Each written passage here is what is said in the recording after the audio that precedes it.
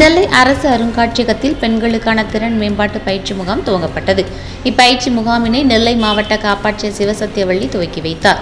இப்பயிற்சி முகாமை துவக்கி வைத்தவர் பேசும்போது படித்து முடித்து பட்டதாரி பெண்கள் வேலை வாய்ப்பினை தேடும்போது தங்களிடம் பல்வேறு திறமைகளை மேம்படுத்திக் கொள்ள வேண்டும்.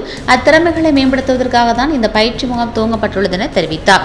மேலும் தொடங்கப்பட்டுள்ள இப்பயிற்சியில் வேலை வாய்ப்புகள் குறித்தும் இரண்டாம் நாள் பயிற்சியில் தங்களுக்கு தேவையான வேலைகளை தேர்ந்தெடுப்பது குறித்தும் மூன்றாம் நாள் பயிற்சியில் நீதி மேலாண்மை மற்றும் அடிப்படை கணக்குகள் குறித்தும் நான்காம் நாள் பயிற்சியில் பங்கு மேலாண்மை குறித்தும் ஐந்தாம் நாள் கணினி பற்றிய அறிமுகமும் ஆறாம் நாள் அடிப்படையில் பெண்கள் மேம்படுத்திக் கொள்ள வேண்டிய திறமைகள் பற்றியும் பயிற்சி அளிக்கப்பட உள்ளன. பயிற்சிகளை திறமையான பயிற்சியாளர்கள் கொண்டு அளிக்கப்பட உள்ளன.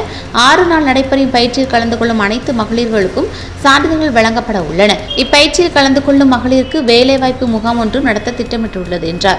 இப்பயிற்சி முகாமினை நெல்லை அரசு அருங்காட்சியகத்தோடு JCI Tirunelveli trend setter Subbulakshmi இணைந்து நடத்தினார்.